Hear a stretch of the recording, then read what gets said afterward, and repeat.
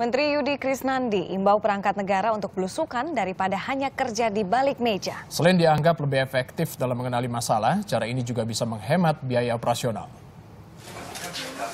Menteri Pemberdayaan Aparatur Negara dan Reformasi Birokrasi Yudi Krisnandi menghimbau seluruh aparatur negara untuk terjun langsung ke lapangan daripada hanya bekerja di ruangan.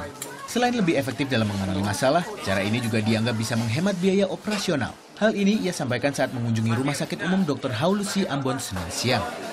Bayangkan kalau semuanya maunya di kantor semua, berapa ruangan harus disediakan, ya, berapa AC atau kipas angin yang harus disediakan, akibatnya listrik meningkat, biaya logistik meningkat, ya, operasional hariannya besar, dan belum tentu kita mengetahui masalah-masalah di lapangan secara langsung.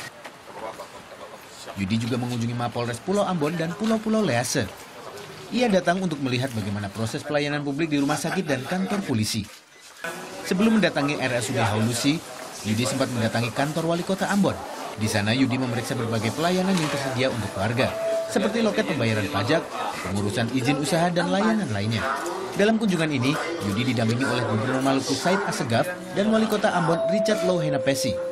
Saat inspeksi, Yudi mencanangkan Kota Ambon pada 2015 sebagai tahun pelayanan publik yang baik. Yudi juga mengapresiasi beragam upaya yang dilakukan oleh Pemkot Ambon untuk memperbaiki pelayanan publik. Di antaranya mempercepat berbagai pengurusan administrasi agar selesai dalam waktu kurang dari tujuh hari. Bahtiar Huamual melaporkan.